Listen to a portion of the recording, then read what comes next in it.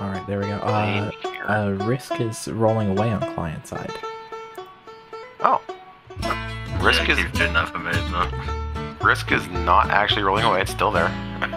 Yeah, because I, promise. just saw you teleport from where Risk actually is to where Risk Risk is rolling to. It's it's hilarious. All right. Well, I'm gonna go into my intro. What is up, guys? Welcome back to another awesome episode of Railroads Online. My name is Evil One, and I am joined today by Tidmouth and Dolan. Say hello, Tidmouth. Hello. And Dolan. Hello. We're down here at the smelter, and as you can see, we have Risk, our new locomotive, teamed up with all these flat state cars loaded down with rails. And we got so many rails, uh, or so many cars rather, we're not actually fully loaded, and all of the rails are gone. Uh, we are completely out of inputs here at the smelter, and I, I was considering actually decoupling these last couple of cars and the caboose and just heading up light but we need to get these rails up to the coal mine. Uh, we got a bunch of beams up there already. We just got to get the, the rails up there and start producing coal. Mhm. So, you guys ready to go? Yep. You guys, one of you guys want to drive, and or do you want me to drive? I'll drive. All right, Actually, wait, no, that'll look really bad on client side. Evil one, you go drive, I'll go drive. How about that? and I will be back in the caboose. So, oh, one thing I wanted to point out here before we get going is this is how I was putting down the stakes. These are the, the rail signs, and I line them up every other car where the back of the caboose is, or not, uh, tinder, is right at the coupler. And I pull forward and do the same thing. Just plop down another another sign, and it works very well to line up uh, with the cranes uh, when you come back through and uh, get more more product. So, right, let's check out how much fire we have. We have 26%. We'll take a scoop of that. Cool, and shovel it in there. Not work. Gotta hit that hole just right. That's probably good. All right, our uh, switches should be set. We're gonna go around the reversing loop. Reverse forward break off. Give it a little bit of steam.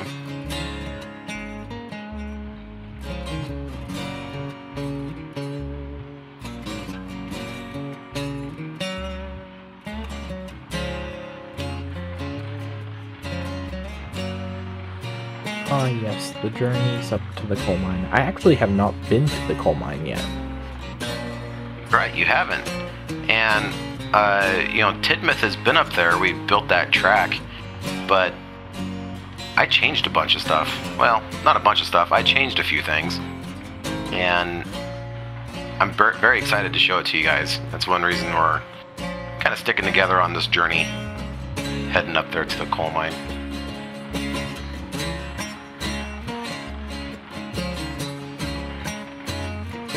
Yes.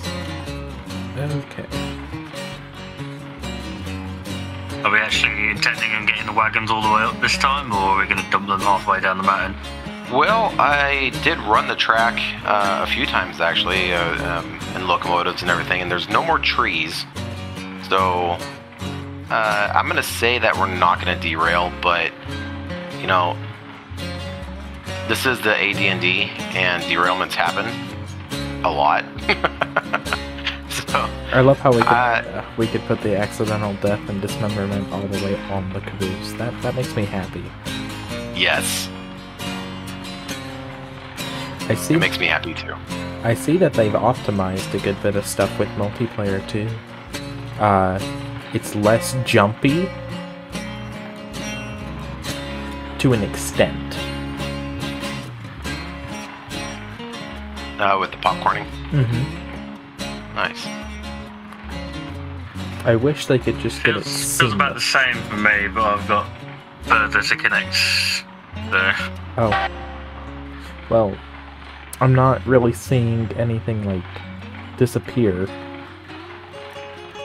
as in like cab doors and stuff like that. Oh, that's good. So I did also place signs around. I'm sure you noticed a bunch of them. Uh, not a lot down here at the smelter, but I got a lot around like the sawmill and logging camp has got a whole bunch. Oh, We should have ended up building a town, or should have built a town. Like down here and up at the freight depot, and then up at like the coal mine. So like the main like big industries, they have little towns, and then certain industries have like a house or two. right.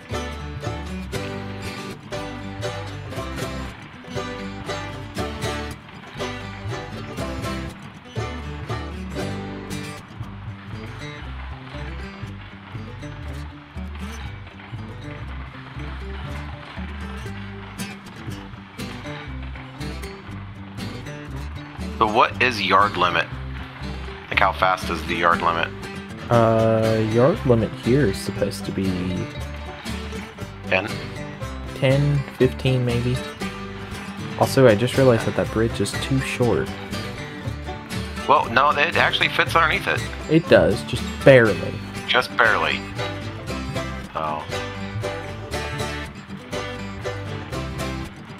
Yeah, I try to I try to keep it under 10 in the yard, but um, know, I'm willing to break that rule, especially at the AD&D. hmm Through the rules, we have money. Yep. Who needs rules when you have money?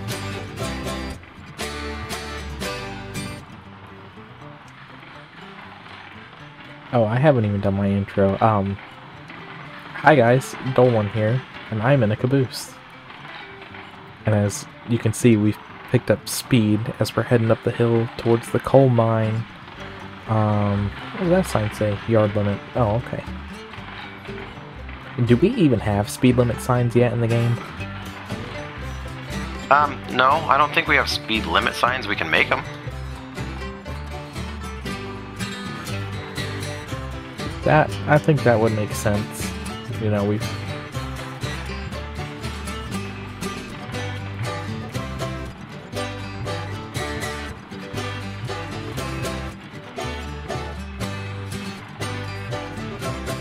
So I got off the regulator to go around these, that little S bend right there.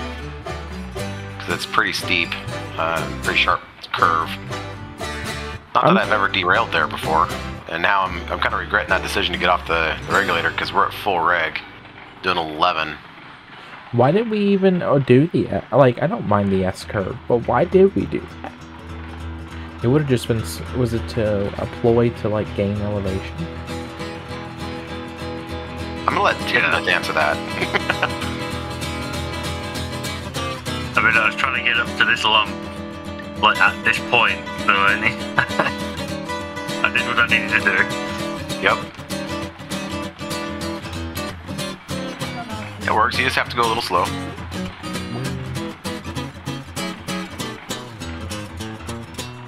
My brother's listening to Ocean Man.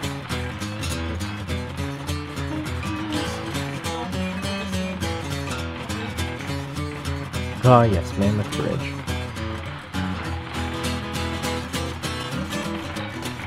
Oh, that's right. You know what? I need to make a quick setting here. As soon as we cross over this uh, diamond crossing right here, Do you have the view distance set up, or do you need to fix that? I need to fix that, which is why I'm I'm kind of hesitating here. Uh, I'm not going into the settings yet. Let's make sure that we cross that diamond crossing without derailment. I'll get out of the UI, go into the settings. That's probably why I can't see the tender, but I can see the locomotive. How about now? I can see both, yeah. And my PC's just chugging along. Oh, there's the Right bell.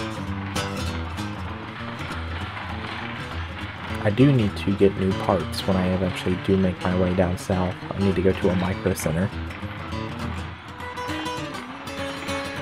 And micro centers, they have uh, they have some like quote unquote open boxed product. It's practically brand new, but it's considered open box because somebody's opened it to take a look. So they sell it cheaper than the regular product. So I need a case and a new motherboard to build my new computer. Nice. And I'm gonna browse at some other parts that I need for a current and for a rig. Probably gonna update the rig I have and make it as a computer for my wife, so she has uh, so she has something to play games on.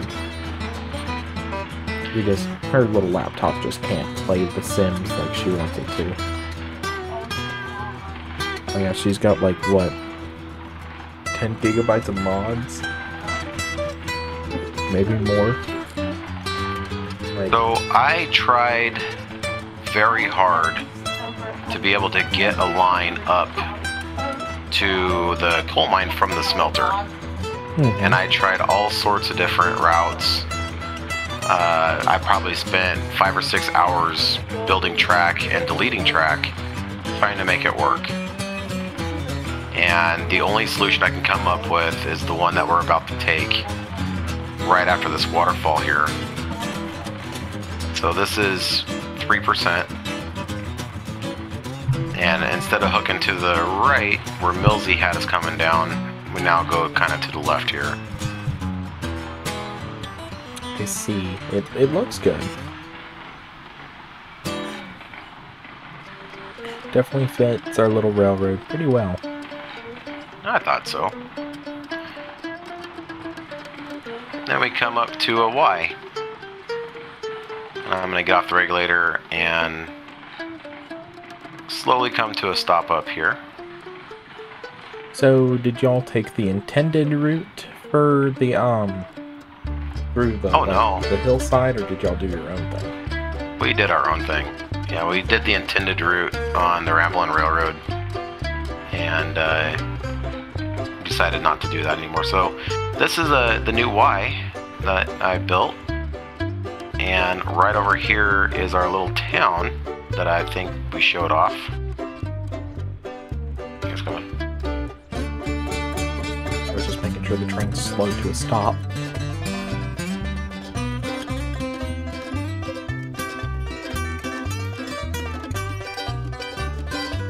And as you can see right off the bat here, the track does not align with the platform, and the station that I made uh, doesn't align with the track either. And that is because this is like the fifth uh, time I've built all of this because I kept moving things. And I, I finally got tired. It was pretty late. Uh, I got tired of rebuilding the same platforms over and over again and decorations and everything just to move it over a few feet or change the angle or something like that. So yeah, this is I we did put it out to the community. Um, there was a couple of good suggestions for the name of this town. Uh, one of which was like Junction Junction Town or something like that, um, or Junctionville or something because of all the the switches nearby. The other one was um, Vertiform City. Do you guys know what that's from? A little bit. No idea. Apparently, you're not Star Trek fans. So, Vertiform City is from an episode of Star Trek The Next Generation. It's the only one that features a steam locomotive, where they're on a, on a steam locomotive going to Vertiform City. So, I'm a, I'm a Trekkie. I thought that was pretty clever. But uh, I kind of like the Junction Town or Junction City or, or something like that. So, Let's call it Cornstalk. Cornstalk? I like that. Well, there's no real I corn around mean, here, we, we could uh, we could take the- the best of both worlds and call it Vertiform uh, Junction. Vertiform Junction. That, that Mhm. sounds good. I like that, yeah. Vertiform Junction it is. Cool. See, like, Alrighty. because you got we got weird town names, and my mom lives in a town called Cornstalk. so it's like it's really I just I find it funny when you get to the eastern seaboard in certain states like West Virginia, for example, you get some really weird town names, and Cornstalk is one of them. and I don't know why. It's just it, it just exists. There's literally a town called Crawley out here too. So I mean, you know, you, you get Are we all on board? yep. Right.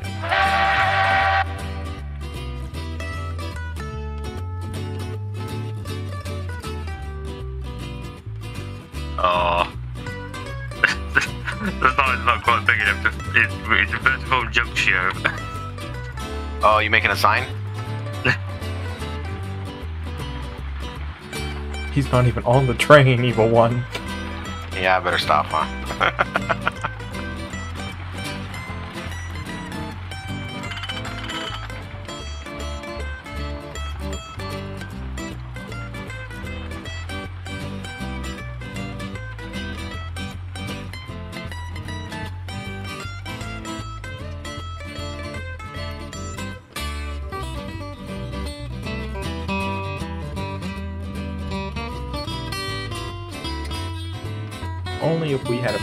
passenger train.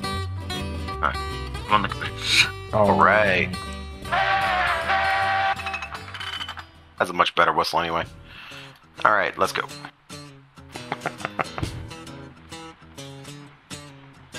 I like the eastern seaboard, like, you know, the Allegheny sounding whistles and all that. You know, they just, it just, it's nice. Mm-hmm.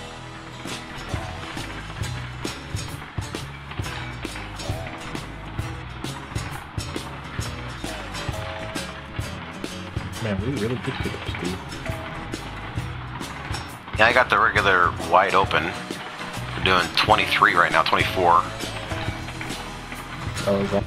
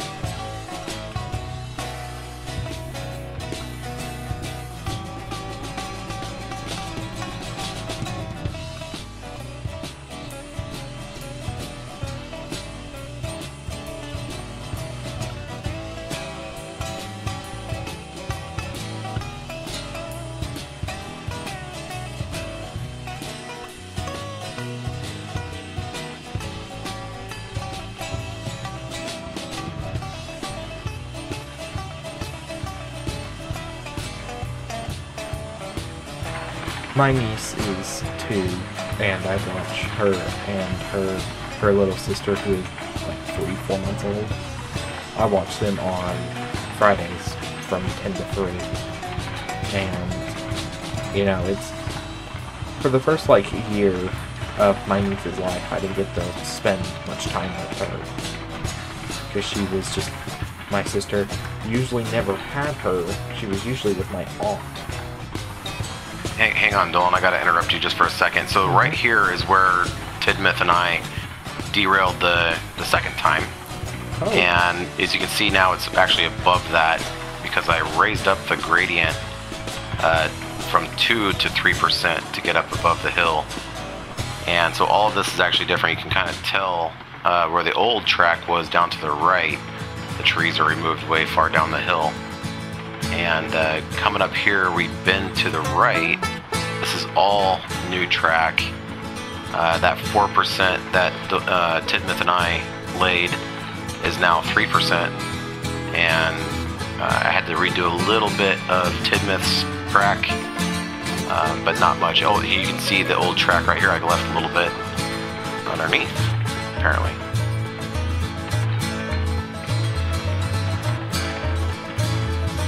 Looks good.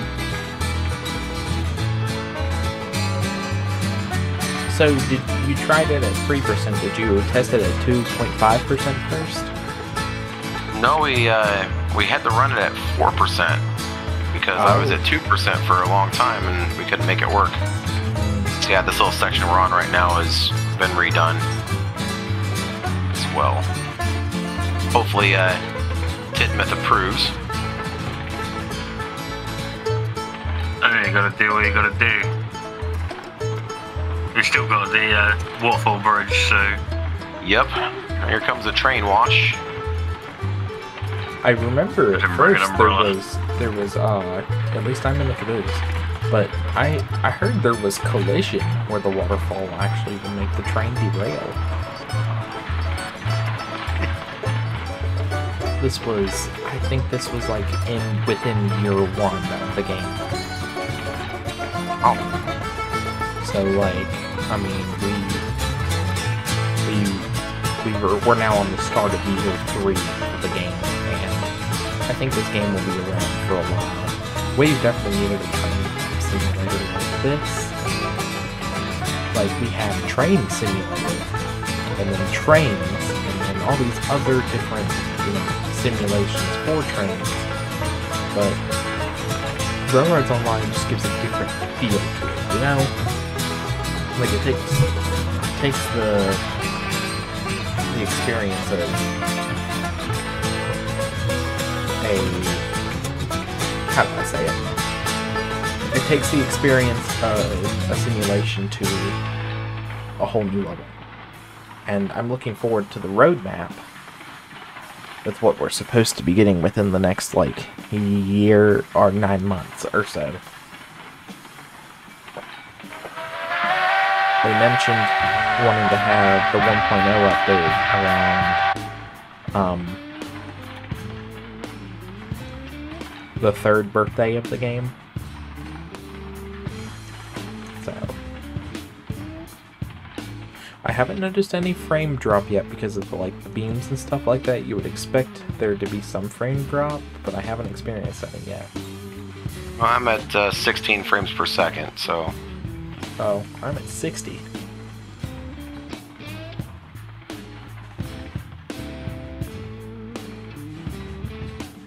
get slowed down about three miles an hour here.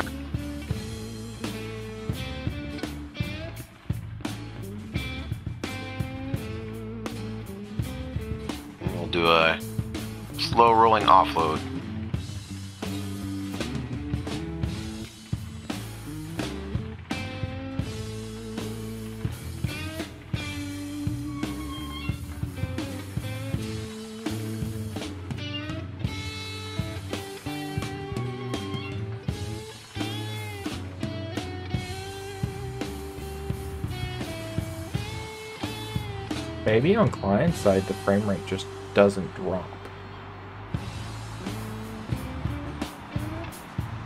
no, we just get popcorn instead. Yeah.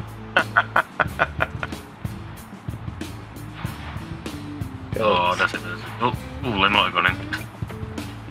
I want wheel slip. That's what I want. Slowing down a little bit here. Speed back up a little bit. Oh, I, I started unloading a little bit early. It was you. See, like at the slower speeds, the locomotives I've noticed will, popcorn less on my end at least. Also, the coal, the coal that's supposed to be sitting in the floor is floating to on top of the tracks instead of how it's supposed to be below 'em. Well, we've got one car half unloaded and we're full. So. Oh, really? In Oh, order okay. to be, yeah, in order to be able to unload it, you We'll have to put it more two more now. beams. Uh, We got two beams sitting here. Yeah.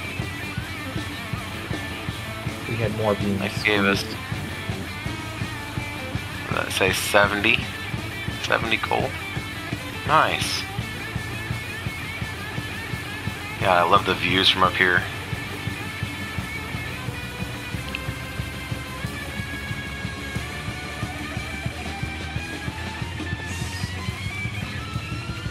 Uh-oh. Well, I just got a notice from the Pine Valley Association of uh, I just got a notice from the Pine Valley Association of Industry and Industries Incorporated.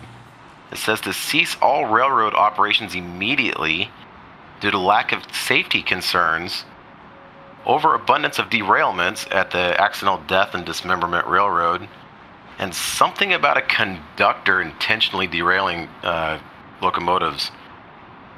And our services are no longer required. We've been fired. what? That that's insane. I why why blame they're they're intent they're like nonchalantly blaming me for all of the accidents.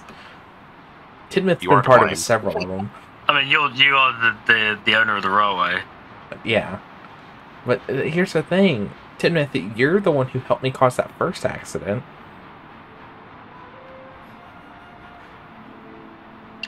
No comment. Uh, All right, let's. Uh... So it seems that uh, the Pine Valley Association of Industries Incorporated no longer needs us here in the Pine Valley, so it's time for us to go. I'll I'll take uh, Betsy here and we'll leave the leave the valley.